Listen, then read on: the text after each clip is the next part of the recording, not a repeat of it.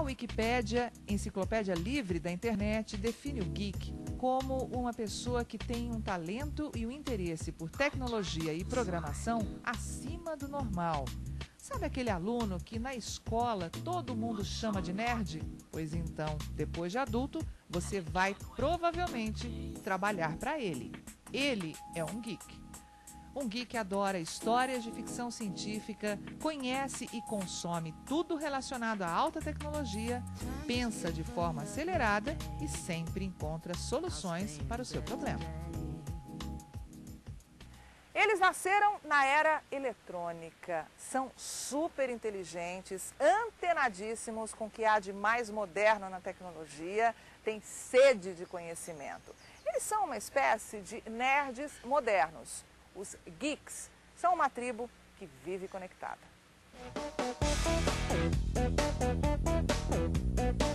Carmen, o Eduardo admite, ele é um geek. Eduardo, em quais dessas características você se enquadra? Ah, em várias. Eu penso que desde a tecnologia em questão de internet, meio de comunicação, também filmes, é, HQs, gibis, né?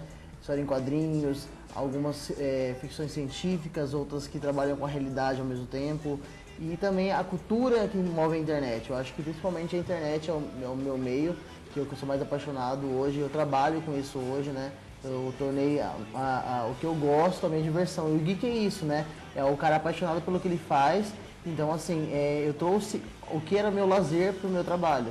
Sempre que a gente tem um computador, a gente já olha o do outro, já quer um, um, mais novo, a gente quer um iPad, a gente quer um iPhone. Eu tenho um smartphone hoje, daqui a pouco quero um melhor. Porque sempre surge aplicativos novos, sempre surge novidade, a gente quer aquilo ali, né? A gente quer estar experimentando, vendo se é legal, se não é para criticar ou se não, falar muito bem também.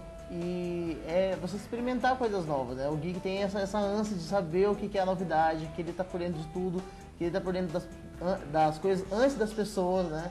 no modo geral. Eu acho que é isso.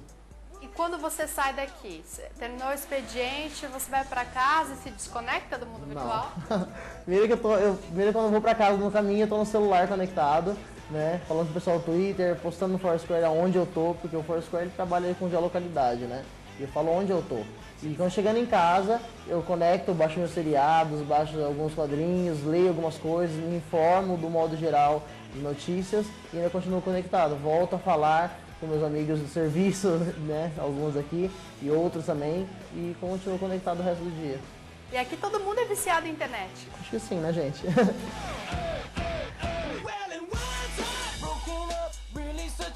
E qual que é o perfil das pessoas que trabalham aqui? Todo mundo é meio parecido com o Eduardo, sim? É, a grande maioria é, tanto que é uma exigência aqui da, da agência que tenha um perfil de consumo de internet é, legal, de redes sociais, de informação, de conteúdo. Não é só, às vezes a pessoa acha, ah, só saber mexer com o Twitter, o Orkut já é o perfil básico. Não, você tem que saber como usar a ferramenta de maneira correta, é, não ter aqueles miguxês da vida, né, que a gente fala, ah, é, abreviar, abreviar tudo bonitinho. Então você tem que ter um uso consciente, um uso profissional da, da ferramenta também. Então é, é bem legal, um perfil de gente realmente viciada na internet. Né?